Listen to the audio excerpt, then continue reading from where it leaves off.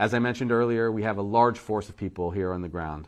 We now have 416 people from FEMA, 273 specifically from the National Guard as well, 185 in the emergency uh, response with 20 dogs, finding those who have suffered. 101 lives have now been lost. 27% of the survey has been completed. We're in agreement now that I should make the order, and I'm making this order uh, to open the Lahaina bypass, the main road, to give access to West Maui.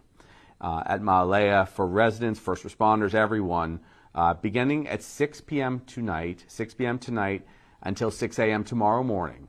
If someone behaves in a predatory fashion towards one of the people that are suffering right now, who have lost their loved ones, or lost their home, lost their rental, and they try to buy land out from under them, you can be sure I will not be allowing anyone to build or rezone or do anything of that sort if they've taken advantage of anyone here.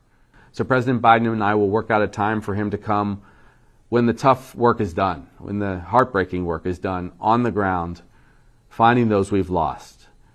He was so sensitive about that. He did not want to interfere with the incredibly difficult emotional and physical work that goes on in a disaster zone.